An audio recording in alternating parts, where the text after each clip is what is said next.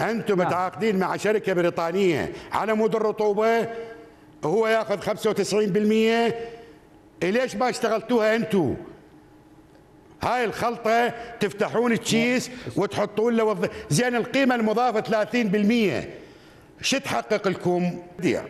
نعم. إحنا هذه حقائق أمام نعم. الناس كلها. المعمل اللي افتتحه معالي الوزير المبجل اللي راح طلع من الوزارة. هو معمل فيه خطوط إنتاجية أم هو تعبئة أو تغليف؟ للأمانة لأنه حاسب كل إحنا باكر عندكم معمل له تعبئة أو ساتر. تغليف. لا أستاذ هو مو فقط مو فقط تعبئة وتغليف هو شلون حقق ال 30% أكو إضافة مواد إضافة مواد محلية حتى تضيف قيمة مضافة إلى المنتج. المواد هذه آه هذا السماد إذا تجيبه هسه على وضعه بس يتعرض للرطوبة. حتى إذا بالإمكان تزورون الموقع وتشوفونه. السماد يتحول إلى لون, لون أبيض. بسبب الرطوبة يتحرر النيتروجين. هاي المادة المضافة تغلف الحبيبة تمنع الرطوبة إنه تأثر على السماد بحيث من يوصل للفلاح يوصل سماد كامل. هذا معمل لو مو معمل أستاذ بديع. بغض النظر عن التفاصيل الفنية. معمل. أستاذ بس دقيقة. هو معمل نعم. في خطوط إنتاجية. نعم. إذا كان معمل وبي خطوط إنتاجية المفروض أن تصنعون. والعراق كان عنده من أفضل معامل الفوسفات والسماد واليوريا بمنطقة الشرق الأوسط. إذا عندك معمل ليش تستورد؟ هذه معامل صناعة الأسمدة أستاذ. معامل صناعة الأسمدة اولا آه، مكلفة جدا مو رخيصة. إيش قد ثانياً، المعمل؟ القانون سمح لنا بعقود مشاركة. هسان إيش قد تكلفة المعمل؟ آه معمل إذا يريد ينشئ آه، معمل متكامل يعني بحدود 600 مليون دولار. و600 مليون دولار على هذا كمعمل آه، from A 600 to Z. مليون دولار الولد يشب بعقد بالتليفون يطلعونها يا سيد بديع. بعقد بالتليفون يطلعونها. تقول لي مبالغ كبيرة؟ والله صحيح. نعم. تدري ليش أستاذ نجم راح أعطيك معلومة جديدة؟ تدري إنه مصانع الأسمدة في أبو الخصيب وفي خور الزبير وفي بيجي أنشئت بقروض يابانية؟ هسه من تقول لي أعتقد راح تتفاجئ هالمعلومة. يعني شنو قيمة آه، ذاك الوقت مثلا 500 مليون دولار؟ عندما كان العراق يمتلك موازنات 600 مليار وما فوق ما بنا مصنع حتى هذه المصانع هي قروض يابانية من زين هذا القرض هذا. المصنع لتربل آي هذا المصنع لتربل آي نعم. أنتم متعاقدين ويا هذا الولد نعم. على أساس إنه بريطاني وعنده شركات بريطانية أو راح يجيب خطوط إنتاجية.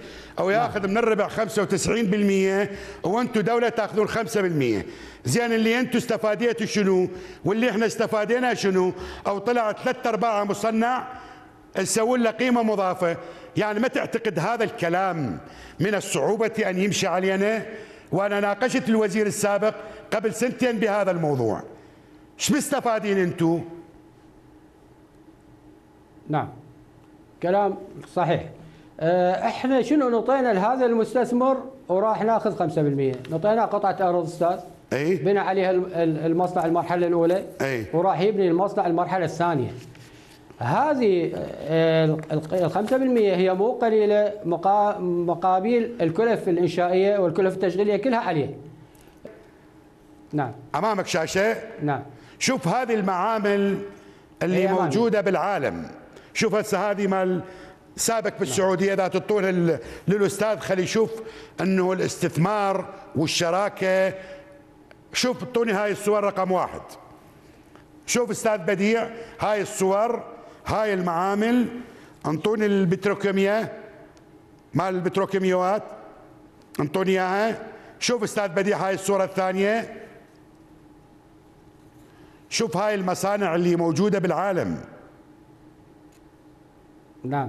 بدك تشوفها مو؟ هذه المرحلة الثانية أستاذ. راح تكون مصنع أمونيا مماثل لهذه المصانع أي. أولا.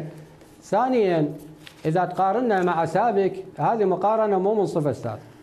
لأن البيئة العراقية بيئة طاردة للاستثمار. إلى أن تكون بيئة جاذبة للاستثمار ذيك الساعة راح نوصل مصاف هذه الدول. يعني في مصر في مصر قبل قبل سنوات كان قانون الاستثمار طارد للمستثمر. الآن في ظل السيد السيسي غير القانون غيره. هسه تقدر تشوف مصر خلال هاي السنوات الأخيرة طفرة نوعية. في مجال في كل المجالات في مجال الصناعة في مجال آه، البنى التحتية. لأن قانون الاستثمار غيروه وين جاذب النوعية يا أستاذ؟ للمستثمر. يا أستاذ وحماية هسه أنتم المستثمر. يا أستاذ بديع نعم. أنتم أنتم هسه أول ما طفرتوا جبتوا جبتوا سماد بإشاعات. وين هالطفرة النوعية؟